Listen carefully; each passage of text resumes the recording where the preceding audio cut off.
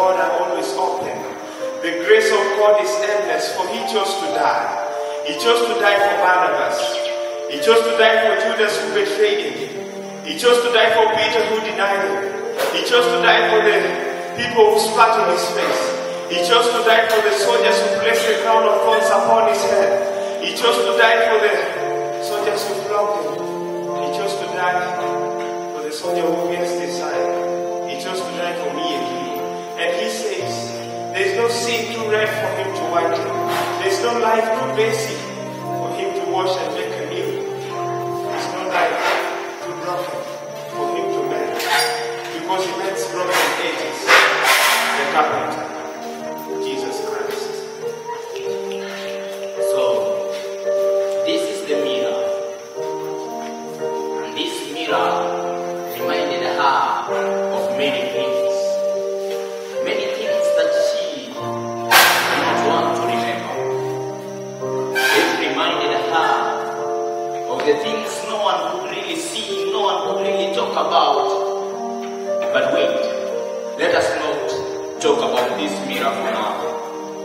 Let us talk about her. She was this young lady full of elegance in her walk. And whenever you could see her, you could admire her. You see, she was this young lady with power and the strength that she could speak. Everybody thought that that was the girl, that was the lady to emulate. Everything that she did was to great, maybe the services to humanity. It only spoke of love. Okay, let us go back to this mirror.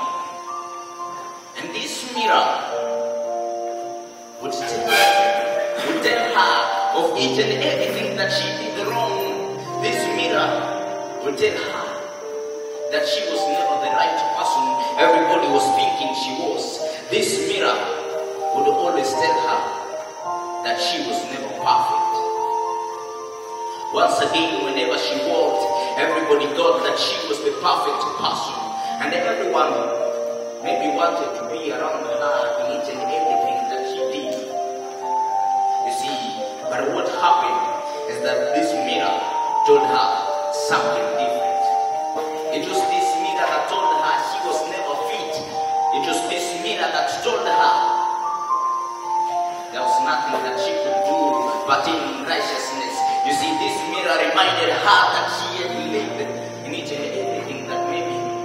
It is this mirror that reminded her she had only put a highly smiley face mask.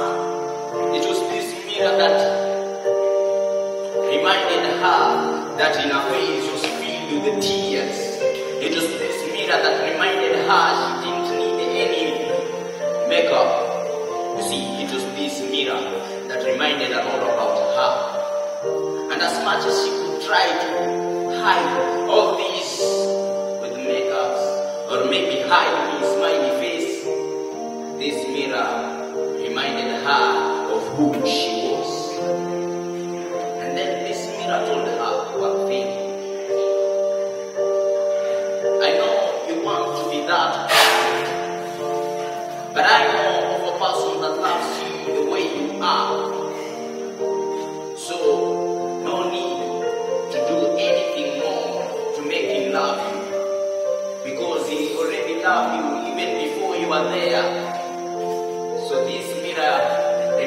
her that she could walk in the way that she had been because there was somebody who loved her the way she was. So this was the mirror that reminded her of who she was. This is the mirror that led her to walk in this kind of a person that who she was. And right now, whenever we look at her, she has really found that love that whenever even her, she has this conviction that there is somebody who never condemned her. So this is the mirror that I'm talking about. This is the mirror that reminded her she is an image of Almighty. This is the mirror that reminded her that everything was possible. This was the mirror that reminded her that there was someone silence. This silence is me trying to find myself in God's wide redemption. The foundations of my smile crumble whenever I depend on myself. But God always, always finds a way to stitch it up.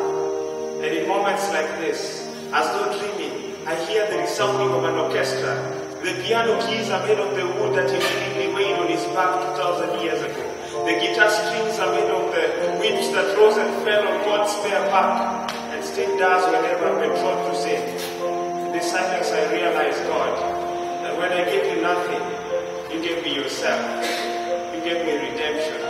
You gave me a second chance. In this silence, I found God.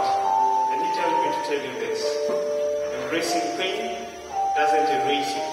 Embracing Jesus erases pain. Because eternal peace He gives and forgives. Just come. Just come.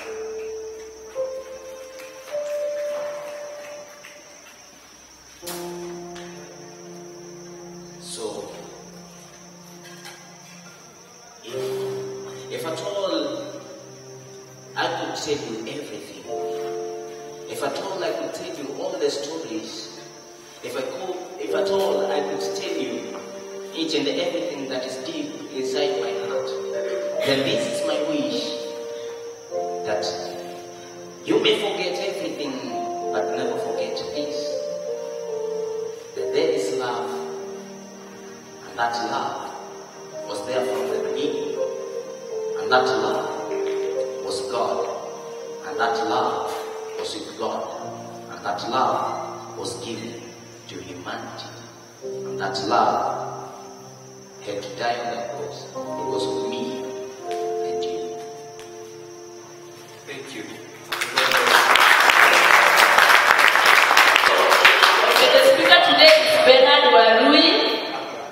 pastor with One Loyal Gospel Church of Kenya in Kamulu, married to one wife, one female wife, Gadoni for 12 years, and they are blessed with three children, Purity, two years, Jeremiah, who is six, years, and Viana, who is two months old. Educa- Education-wise, he pursued Bachelor of Arts in Economics, Kenyatta University, Master of Arts, Biblical Studies in African International University, Masters of Science in Project Management in JKUAT, is ongoing with the Masters in JKUAT, Passion, mentoring young people, and our topic of today is the signboard. Subject is directing people to Christ and not to ourselves. Amen? Let us put our hands together and welcome the speaker of the day.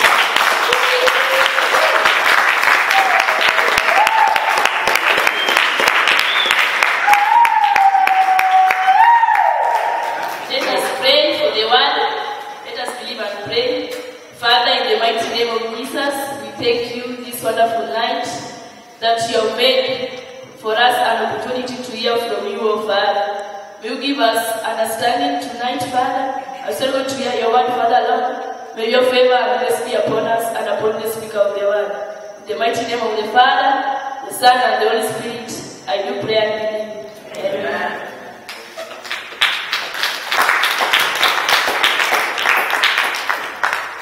Thank you very much, uh, Juma, for that introduction. Bwana asifiwe. Praise the name of the Lord. Um, born again. I was here uh, several years ago. I, I think it's about 14 or so years ago since I graduated from KU. And the Lord has been faithful even out there as we serve, as we work. The Lord has been very good to us. Praise the name of the Lord. And I'm delighted to be here. Uh, my daughter is not two years, Purity is 11 years. Um, Purity is 11, Jeremy is 6, and Gianna is just about two months old. And we thank God for his provision. Praise the name of the Lord. Today I'm talking about directing people to Christ and not to ourselves. Um, and uh, it is in line with our theme uh, of the year, which is from Hebrews chapter 12, verse 1 to 2. The main focus today will be looking at uh, spiritual fathers and mentors, and mentorship is one of my areas. And I mentor many people, some of who are students in this university, and I believe that the Lord will bless us as we go through this topic. I've also written a small book here that has quite a bit. It has a chapter on mentorship. I've left about 10 copies with the chairman. Uh, he will choose how uh, not maybe him and the other leaders will choose how they get to you. Whether they will sell or give you, whichever way. But I've left them to the Christian Union. Um, it's at uh, uh, discretion to do that. Praise the name of the Lord. Bwana asifiwe. So the theme of the year, I know we know it, therefore, since we are surrounded by such a great cloud of witnesses, let us throw off every everything that hinders and the sin that so easily entangles, and let us run with perseverance the race marked out for us. Let us fix our eyes on Jesus, the author and perfecter of our faith, who for the joy set before him endured the cross, uh, scorning its shame, and sat down at the right hand of the throne of God. Praise the name of the Lord. Just a few things before I get to the core of the issues of the day. The Bible is talking about a great multitude of witnesses, men and women who've gone through life and have made it, and they have conquered through faith. Praise the name of the Lord. And they are listed in chapter 11 of, uh, of, of Hebrews, and we are able to see that. And therefore, as we sit here and we discuss the things of our faith, then we should know that we are not the first people to be here, but there are many who have been there and they have made it through. And they sit as a witness, or they if they are standing wherever they are, as a witness that it is possible to make it. Praise the name of the Lord. And even some of us stand here as a witness that the Lord is able to make you go through the season and make it even thereafter. Praise the name of the Lord. Having been here for four years and having been out now for about 14 years, serving the Lord, working in the corporate world, serving in the church, I am a witness. I, I join that cloud of witnesses that the Lord is able to do it for you. And therefore, as young people, as we are, we should not give up. We should not feel like the world is harsh to us and we cannot make it. But we should know that we are living in a time when God is still working and is still on the throne. Praise the name of the Lord. The lecturers may be on strike. We may be fearing we might not make it on schedule as we had desired. But the Lord remains on the throne and He is sovereign and He is working things out for you. Praise the name of the Lord. And there is no mistake that happens when it comes to the people of God. The second thing that it talks about is about hindrances and obstacles that are there along the way. It says that we, we should be able to deal with this. Many people have used this verse to justify themselves, especially when it comes to the sin that easily entangles them. And therefore they can sin, they can do things and say, this is what easily entangles me, because everybody has something that easily entangles them. What they don't realize is that the Bible is saying, get rid of it. Praise the name of the Lord. So you don't walk celebrating. That's why I, I, I, I sin on this area so much. is because even God knows there is a sin that easily entangles me. No. He says, get rid of, get rid of it. The other thing that is key there is that there is a race that is marked for each and every one of us. Praise the name of the Lord. That we didn't come on earth to look for something to do. We came on earth because God created us having marked what He required us to do. He created you with a purpose. Praise the name of the Lord. We, we, we, we don't come on earth to look for something to do. We come on earth to identify what God requires that we do. And therefore, you are not here trying to search or look for something to do. You are here to discover what you are created to do. The earlier you discover that, the better. Praise the name of the Lord. Finally, it talks about our focus it should be fixed on Jesus Christ, who is the author and finisher of our faith. So we may be running many races, each and every one of us have their own race to run, but the focus is one. Christ is the one that we should fix our eyes on. Praise the name of the Lord. What is the biblical perspective of spiritual parents? Um, in our day and age, there is a lot of talk about spiritual parents. There are many people who are called daddy and mommy, and even when we were here, people used to call us. And in- to date, there are people who we were students together, and they still call me dad, as they used to call me during the Christian Union days. I don't know whether it exists to date. I can see many things have changed. Praise the name of Lord. Yeah, so maybe that too is something that has changed. In the fellowship, if you never sang a hymn, then you will have many questions to answer. But I don't see hymn books. That means we no longer sing hymns in the fellowship. No, you never went without a hymn in the fellowship. You would have to be summoned by the uh, Sanhedrin to answer several questions. Praise the name of the Lord. We, we, we never we never used to have uh, this beautiful guitar here, but we had a committee called Publicity. They would make drawings and write the, they, they, would, they would bring out an image of the topic. So I would imagine what the image for today would be. And, and they would bring it out in graphics. And every every time as I introduce the speaker, I would have to say, let us appreciate the publicity for the work they have done. So many things have changed. Praise the name of the Lord. And uh, maybe you still call people dad and mom? Or you still do? Then that has not changed. Then there's still some things that have remained. And, and I hope I discover many great things that have come in. Other than those that have gone, I hope you have replaced them with better things. Yes, this is not bad. It's not bad. It's good. Praise the name of the Lord. Uh, we never had projectors, so I don't even have to read the uh, verses that I have. They'll be projected there, and you can follow as we go. That is also a great development. Praise the name of the Lord. So we have many people who call others mom and dad, and they look up to them as, as parents. And one of the things or the assignments that I'm required of is what is the biblical perspective of spiritual parents? The first time I see somebody referring to somebody uh, as spiritual parent is in the book of Second Kings, chapter 13, verse 14, and it is by implication that I, that I believe that Joash is calling Elisha my father, my father. You know, Elisha is at his deathbed and he is just about to die. And the king is now saddened because he does not know who will support Israel anymore. And he runs to him and says, My father, my father. The horses chariots of, of Israel. And when I look at that, and believing that this man is speaking from the abundance of the heart, then that is the view that he had of Elisha. He saw Elisha as a father. Praise the name of the Lord. And therefore, I, I would look at that and see that basically there could have been a possibility of seeing Elisha as a spiritual father to the to the whole nation of Israel, but also to King Joash, who him. When we come to the New Testament,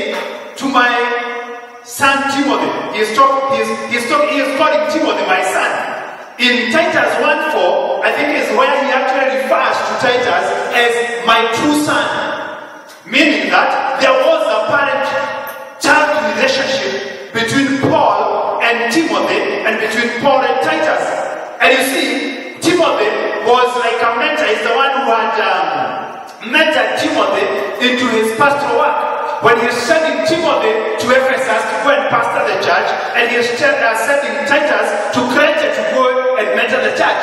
Of course, he sent him to several places. We see him also, sending Titus to Corinth to check how they are and to bring a report to him.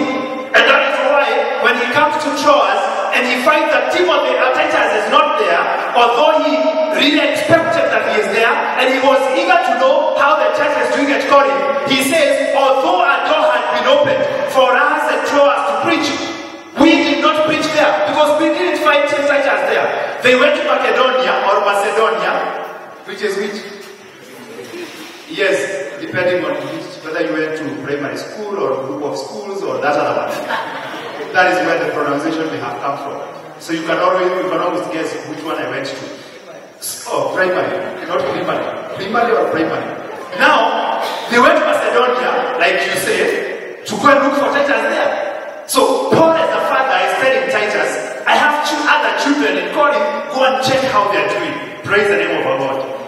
Um, these are several biblical uh, implications. What we don't see in the Bible, and I don't think should come as a prohibition, is that maybe it's an opportunity that is not there. We don't see people referring back, other than Joash, who is referring to my father. We see mostly in the New Testament the father referring to the children. But we rarely see the children referring back to the father as the father. But my expectation is that that would also happen. But when we look at Matthew 23, verse 9, we see a prohibition uh, in terms of designating anyone as a father.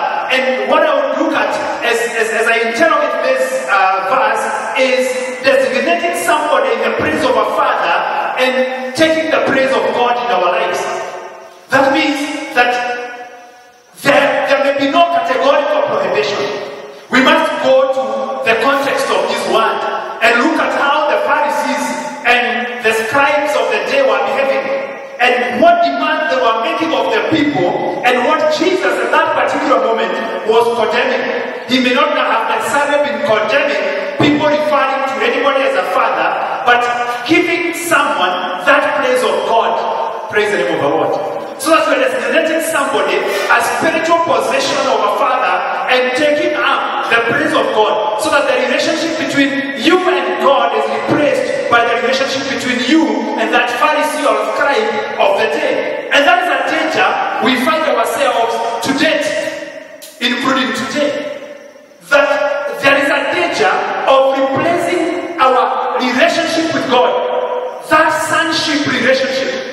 And that is the most important relationship that Jesus established on the cross. The Bible says that they that accepted Jesus Christ were given authority to become the children of God. We become sons of God. We can cry to our Father, Abba Father. And that is the closest relationship that we see in the Bible between believers and God. And there will always be a danger if anybody threatens to replace that relationship. Praise the name of the Lord. And that and therefore, whoever you regard as your spiritual father must never come close to replacing the relationship that you have established by faith through the grace of God in Jesus Christ. Praise the name of the Lord. If he comes close to that, replacing that, then that becomes a dangerous place to go. The other thing to note is that we may not get a, a, a very clear biblical um, relationship or definition of spiritual parent because of also the context. We live in a different context from the context from where the Bible was written. And we must trans- uh, interpret the Bible uh, based on the cultural background that it was translated. But we must also understand our background, where we are today, and how do we refer to. When I go back to my village, almost every man the age of my father will look at me as their child. Praise the name of our God. On every woman the age of my mom will look at me as their child. And that is why in the year 2000, when I passed and I was invited to come to Kenyatta University, and my parents couldn't afford my university fee, they all said, Our child cannot fail to go to university. So they all came together.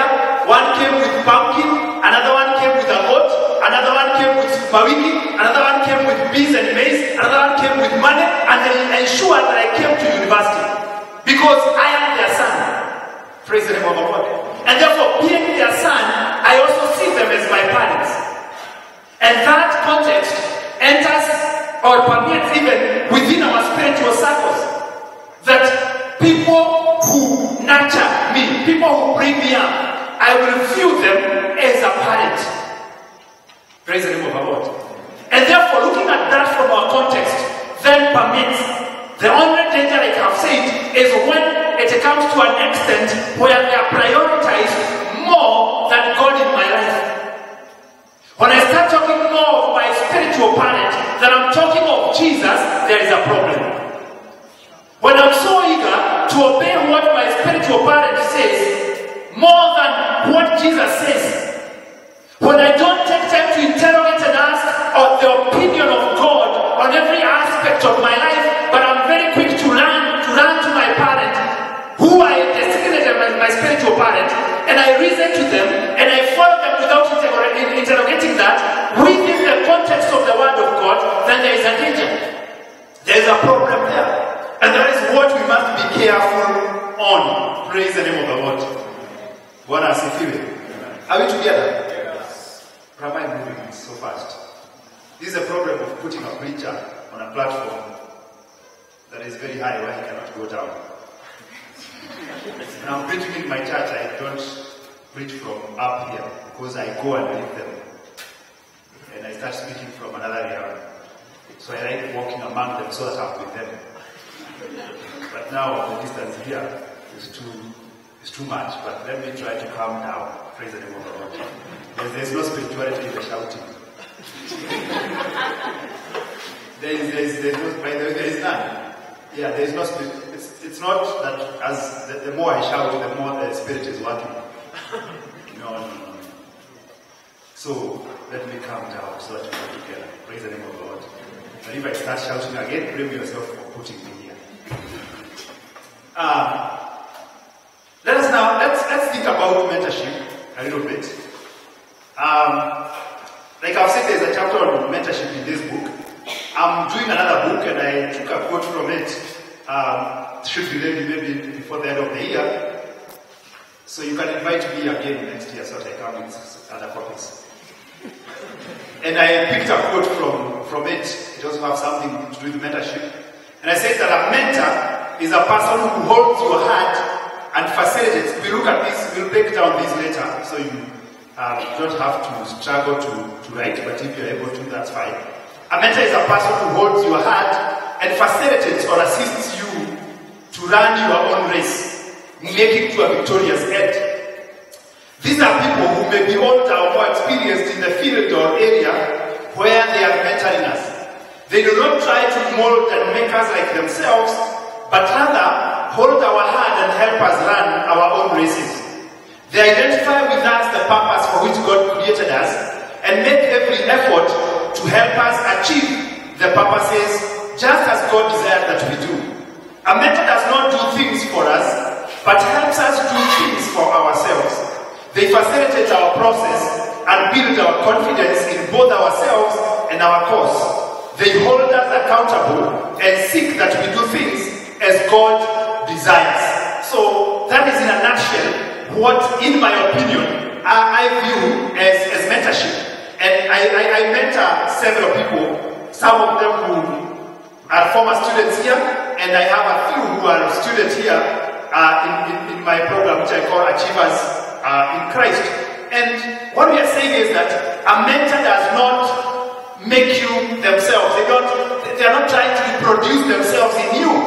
Because, like we have seen in Hebrews chapter 12, is that each of us has a race that is marked out for them. And therefore, if you are to get a mentor, they must facilitate you running your own race, but not make you to run their own race. Praise the name of the Lord. There are many motives why people get into mentorship relationship. Uh, whether mentors or mentees, likewise. There's good and wrong motives.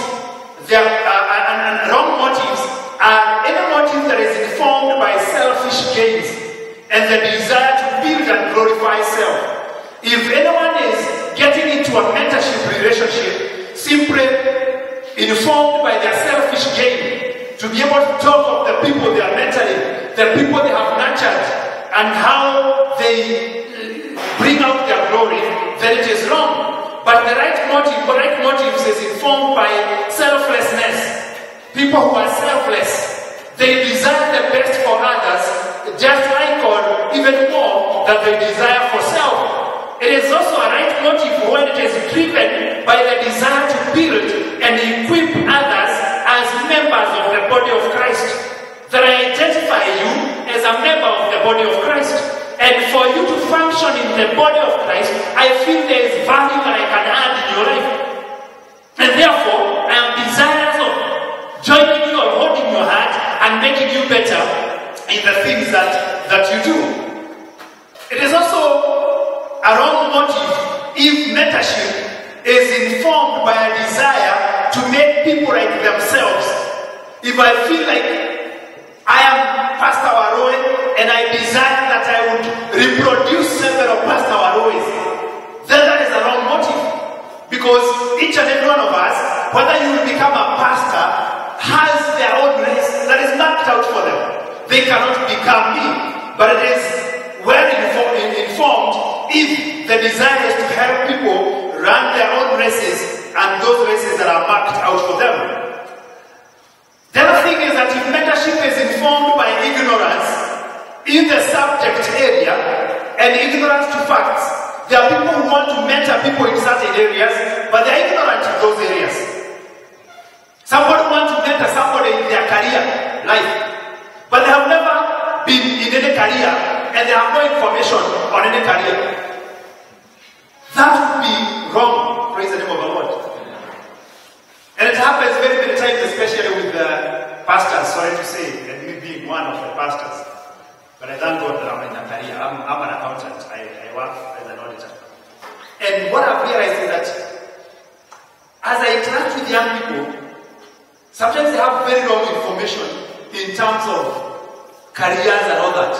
But it is because they fell in wrong, wrong hands and they were not given the right guidance.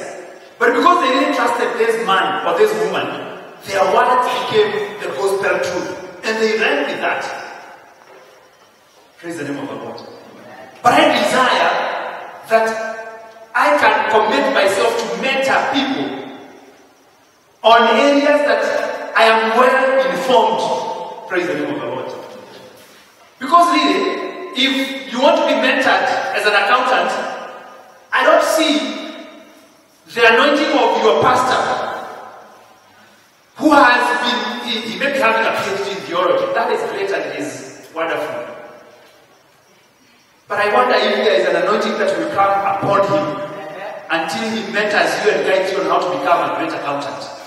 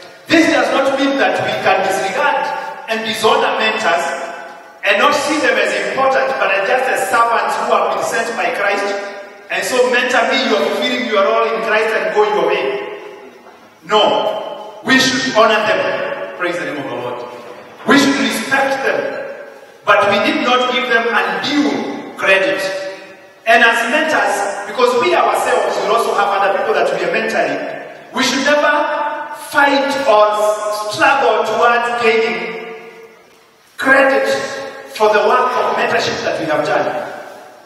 We are serving Christ, and Christ is the one who will reward us.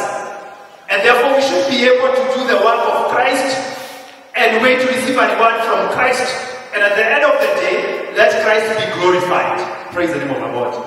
When the church of Christ is operating well, when everybody is able to identify their purpose and they are walking in it, when everybody is able to walk in victory, then the, the, the person who should be able to receive the credit for that is Christ Himself. Praise the name of the Lord.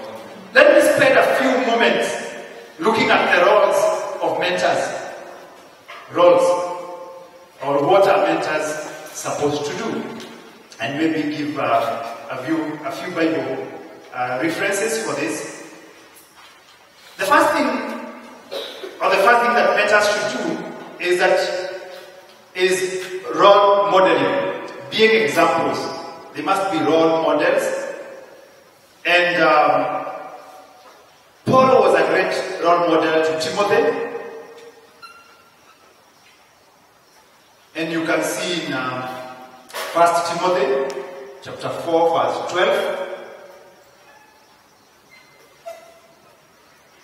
We also see Philippians 3 17, where Paul is calling upon, Paul is calling upon the people who are serving the church to be good examples. He's telling Timothy that he has to be a good example. But Paul himself presents himself as a good example in 1 Corinthians chapter 11 verse 1. 1 Corinthians chapter 11 verse 1, where he says that imitate me as I imitate Christ. Praise the name of the Lord. Of course, that verse is loaded in terms of this message that we should only imitate people as long as they're imitating Christ. Don't imitate me if you're not sure who I'm imitating. Christ is the ultimate example and benchmark for us. Praise the name of the Lord. Bwana asifiwe. I also would think that Elijah was a great example to Elisha. For Elisha to say that I desire to have a double portion of your power.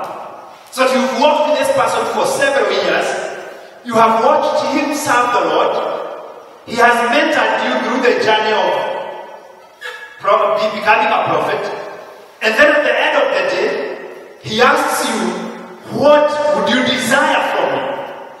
And Elisha tells him, I would desire a double portion of your anointing or the power that is upon you. What this tells me is that Elijah must have been a very good example to Elisha. Praise the name of the Lord. Because the people we walk with and we don't desire to be like them. Actually, if you are to be double them, you become a disaster. Praise the name of the Lord. Or have you not seen brothers and sisters in the church who are like that? That if you are to become double what they are, that whatever they do, they are working to bring people closer to God. Praise the name of the Lord. Bwana asifiwe. They are bringing you closer to Christ. There's, there's a, a, a great example in Mark chapter 2 where we have a reaper, somebody who couldn't walk, who couldn't do much for himself. But he has four great friends. And these four great friends told him that we will take you to Jesus for your healing. And they, they have to get him to Jesus. Praise the name of the Lord. And when they come to where Jesus was, the Bible says that the place was full and there was nowhere. They, they, they couldn't penetrate the crowd. And they decided, we will risk our lives. We will risk our lives. And they were taking several risks because going up someone's house to bring down the tiles, you're risking mob justice. What does it feel? If you come to my house, or if at night I hear there is somebody on top of my house doing some things, may God help me. They were risking.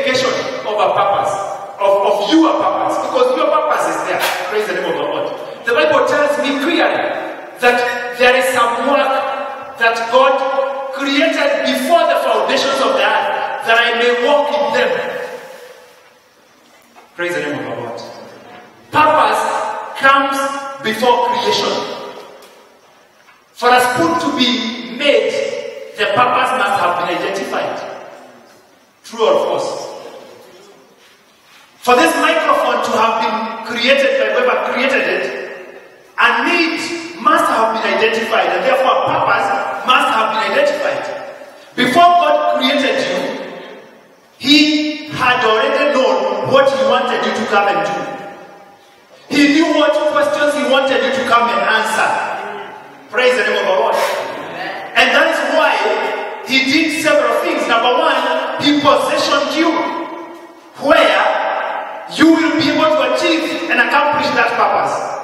And that is why there is a danger when we have men and women who, are, who live a life of regret, wondering where, why they are, where they are. If you are given a choice of where to be born, where would you have chosen? Kenya? I doubt. if you are given a choice of who your parents were to be, I don't want to guess, but most probably, with the information you have, you would have made a different choice. Sometimes we pretend to be good and we want to say, even if I was given another opportunity, I would still choose you. But wait until you are given another opportunity. You, you don't have the opportunity to choose your mom or your dad. You don't have, so you can you can go making them feel good, but if you are given the opportunity, if you are given the opportunity to choose who your brother or your sister was, is to be. But you know, God, you know, the family you are in is by divine placement. It is by divine positioning. Because within that family, there are two things. One is the provision for the accomplishment of your purpose. And two is that there is some assignments within your purpose that are within that family. There is some work that God wants you to do on that brother, that sister, that parent. Praise the name of the Lord. And so instead of going wondering, why am I a brother to this drunkard guy? Why am I a sister to this? No, ask yours, ask God, what, why did you send me to become a brother to this guy who drinks every day? What do you want me to accomplish? Because you are not there by mistake. You would have been my brother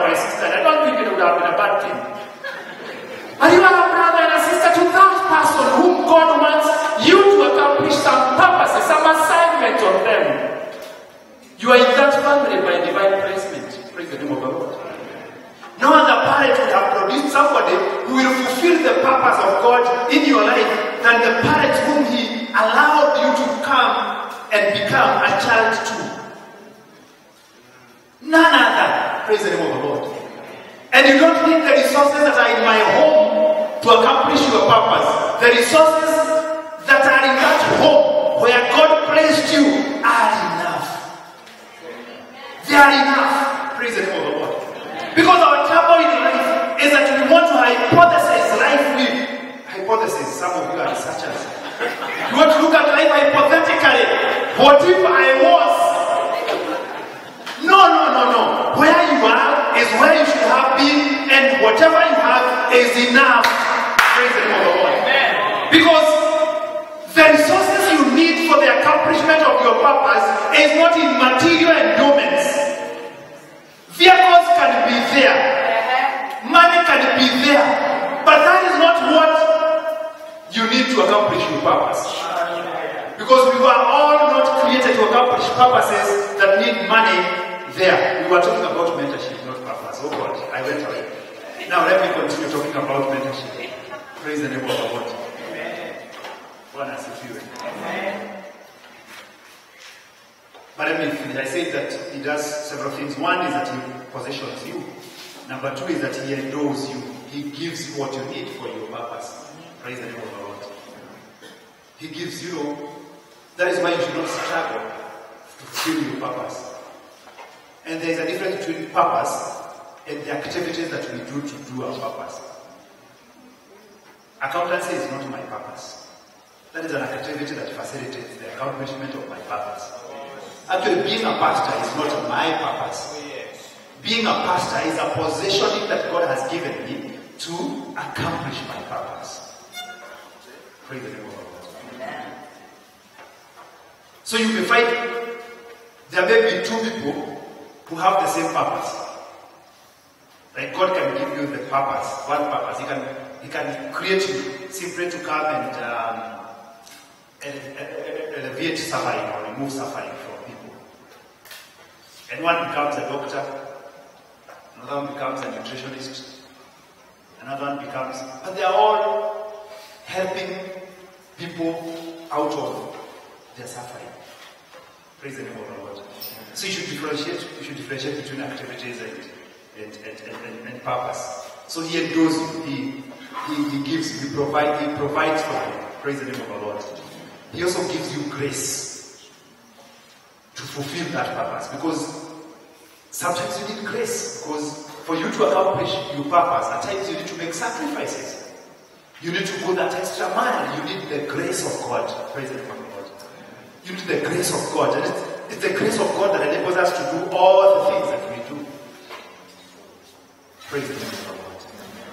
And I think that God provides you favor. If he, if he calls me to be a mentor, I don't need to go begging people to. He just gives me favor. Praise the name of the Lord. He just draws people towards me. I, I always I, I can't I can't have I can't have enough time to meet all the people who require mentorship from me. Praise the name of the Lord. If he takes you to a church and his purpose is to enhance the relationship of those people with Christ, he gives you favor with that church. And that is why if you see a pastor fighting to remain in the position of a pastor in a church, that is a church to run away from. Honestly, I've been a pastor for the last 12 years. I'll never force myself on a congregation. If God does not give me favor with the congregation, then my purpose is not there. Of course, once in a while there will be people fighting you, but you must be discerning enough tell whether the Lord wants you there or not. Praise the name of the Lord. You know, God just gives you favor. You are a doctor. God just gives you favor. Not because you do very special things than other doctors, but you find people coming to your clinic, people coming to your clinic. He gives you favor for the accomplishment of your purpose. Praise the name of the Lord. Bwana asifiwe. Number, that was number three. Facilitate identification and pursuance of one's purpose. And you, you see Samuel and Eli in 1 Samuel 3, where Samuel is asleep and uh, he doesn't know, he doesn't understand how to discern voices and God is calling upon him and he goes to Eli and he tells him, did you call me? If you have a mentor who is not wise, they'll tell you, yes, I called you, sit down and tell you. There are mentors who are like that. Sit down and tell you. But a wise mentor will tell you, go back to sleep. If he calls you again, say, yeah, I am Lord. Praise the name of the Lord. A mentor who directs you to, to God, to Christ. Not a mentor who is a know-it-all. Doesn't matter what question you ask, they always have an answer. Praise the name of the Lord. And you know, mentors are supposed to help you in decision making. They're not supposed to make decisions for you. Number four, provide counsel to facilitate decision making. Provide they, they, they don't make decisions for you. They don't tell you go this way, go this way, go this No. They, they provide you information to make informed decisions. Because at the end of the day, you must take responsibility of your race. Praise the name of the Lord. And therefore, you cannot delegate your decision making to your mentor. There are people who even go and ask, should I marry this one? No, don't marry that one. No, they, they should provide you with counsel. But they see you struggling like Jethro sees Moses struggling in Exodus chapter 18. He goes to visit Moses and he sees how Moses is getting tired trying to decide cases amongst the people and he tells him, this will wear you out, this will finish you. There is something else you can do. Moses reasons without counsel and says, yes, I think there's something I can do. And he makes a decision to choose people who can decide the smaller cases and him, they can decide on the major cases. So a mentor provides counsel. They don't, they, they don't, they don't like tell you, make decisions for you. They just provide counsel and that facilitates your decision making process. Number five is that a mentor corrects you if you are on a wrong path. If you're on a wrong path, a mentor corrects you. And we can see Nathan going to David in 2 Samuel chapter 12. And uh, Nathan is the prophet. And as a prophet, he is seen as one who gives oversight to the king and the, and the, and the whole children of Israel. And God communicates to him about something that David has done and it is wrong. And therefore goes to him and corrects him. Because he has to bring him back to the path of righteousness. If you have a mentor never corrects you when you are wrong, then that is not a good mentor. And this is not a very easy thing for a mentor to do. It's not easy to correct people when they are going wrong. But it is something that has to be done. And that is why in a mentorship relationship, there is giving of authority. You know, when I when you go to somebody, and, and what I must say is that mentors are not meant to be virtual. Praise the name of the Lord. T.D. Jakes is my mentor. Joel Osteen is my mentor. John Hagee is my mentor. Those can be role models, but I don't believe they can be mentors. Because mentorship is a deliberate relationship established between two people. I say it is working together. Praise the name of the Lord. One of my mentors for the last about 18 or so years is Reverend Peterson Wangombe. I, you know him. You still invite me? Yes, we do. Oh, you invite me? Yes, because I met him. I, I met him when I was the first year here in the year 2000. And I remember 2001. He was not a pastor then. He was working at Focus as a training secretary, and he was the one in charge of KU. I went to him at Focus and told him, I would like you to be my mentor. By the grace of God, he became a pastor later. And after I left KU in 2004, in 2006, I also became a pastor. And we have walked that journey of mentorship for the last about 17 or so years, which is very fruitful. It is, it is walking together. Praise the name of the Lord. It is not watching from a distance. Because how would John Hagee come and correct you if you are doing wrong? Praise the name of the Lord. Parameta, the Reverend Peterson Wangombe has authority. And remember, our, our topic is still directing people to, to Christ, not to ourselves. He has authority over my life. To, and, and my wife knows, my wife knows that if this guy is not behaving well, go and tell Reverend Peterson, Wangombe. And Reverend Wangombe will call me and tell me, Pastor, hapa haiendagi namna hii, namna hiyo. A mentor has authority. But yes, why would we say that you are on the wrong path? Because you are diverting from the path of righteousness. You are diverting from the path, not from his path, not from the mentor's path, from the path of righteousness, from the path that Christ requires that you walk in. So he is correcting you so that you continue walking in the ways of God. Praise the name of the Lord.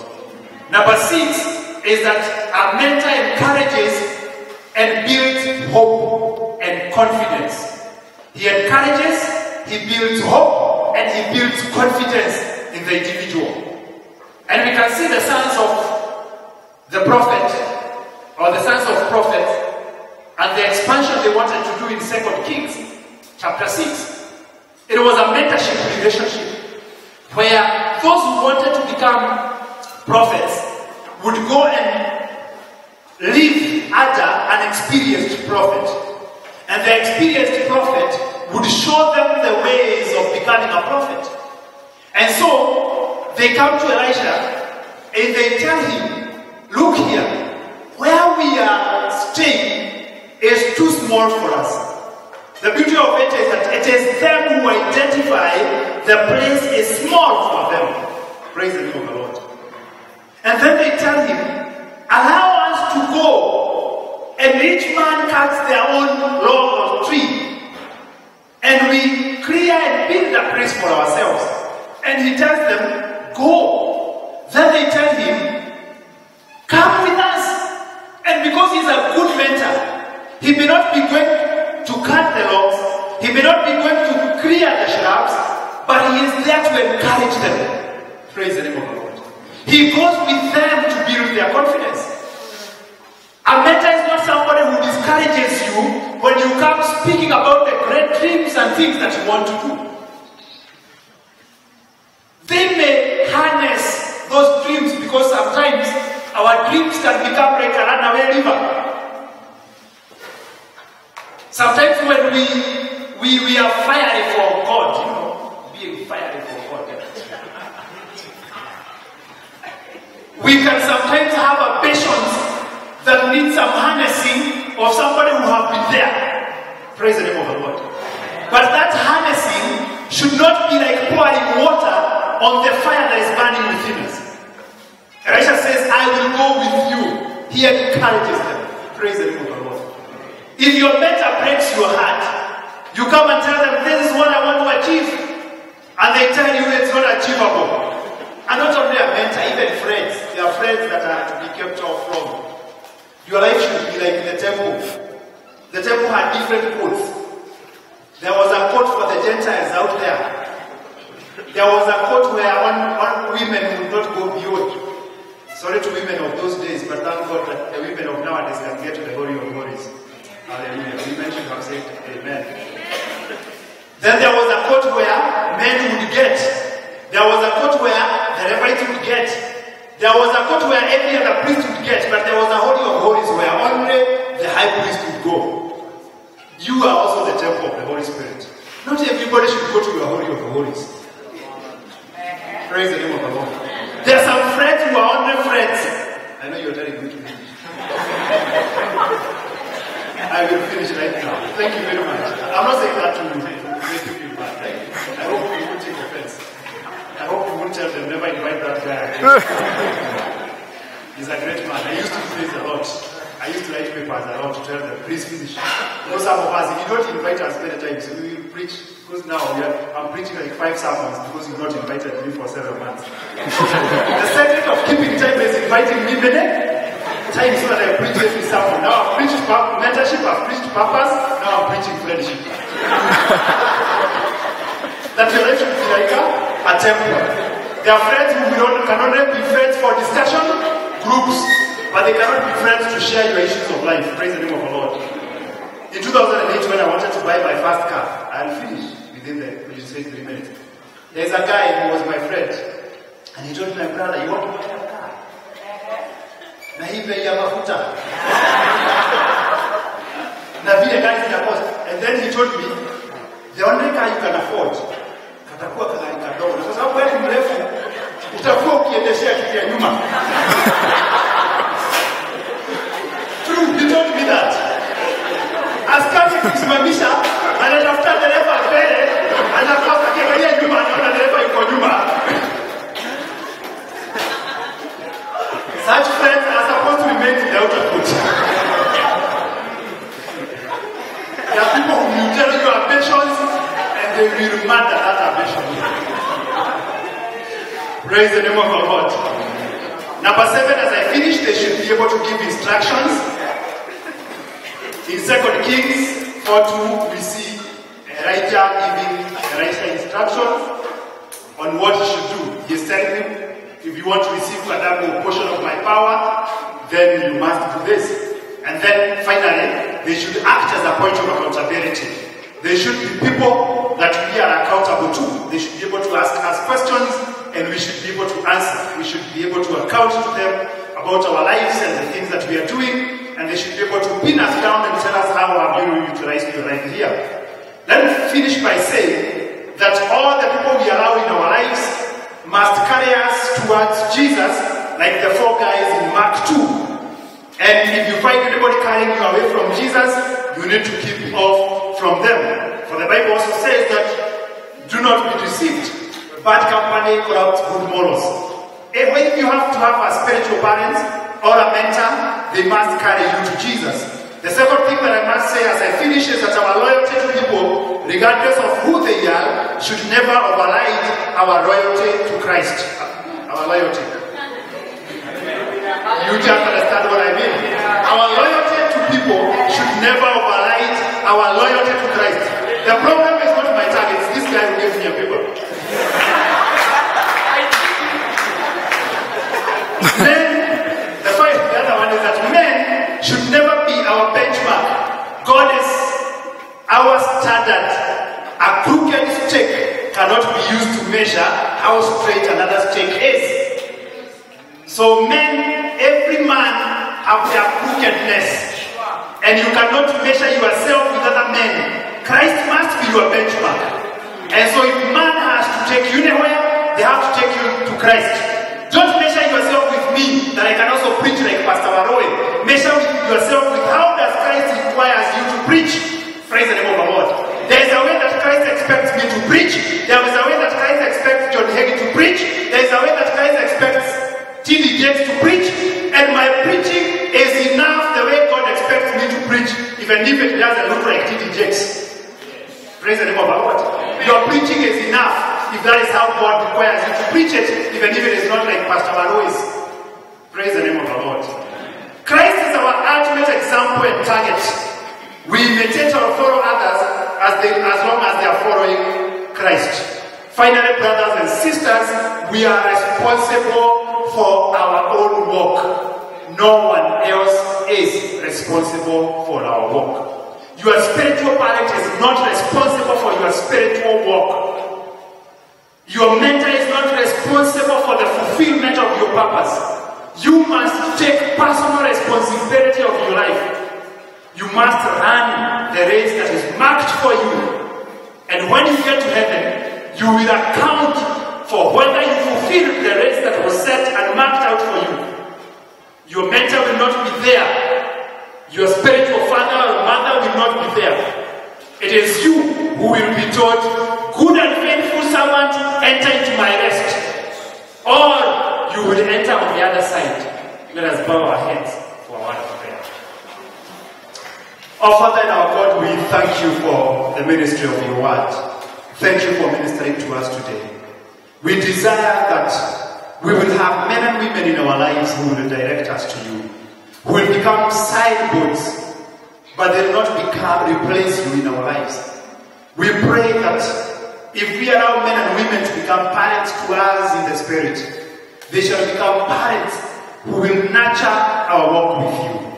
I pray that, dear Father, you will direct us to people who will direct us to you. And you will give us wisdom and knowledge to be able to discern men and women who are out to divert us from you and lead us to themselves. We refuse to use men and women as the benchmark for our righteousness and the fulfillment of our purpose. But we look upon you, Jesus Christ, who sets the standard for us. I pray for all these students who are here tonight. I speak a blessing upon their lives, oh God. They may be going through diverse challenges in their lives. I pray that Lord, you will bring a resolution to those challenges. Even the lecturer strike that has affected their studies. I pray that, dear Lord, you will come in because nothing is impossible for you. And we know you are concerned about every affair of our life. We thank you and we worship you. I pray that this word will have its perfect work in our lives. In Jesus' mighty name, we pray and believe. Amen. Amen. God bless you. Sorry for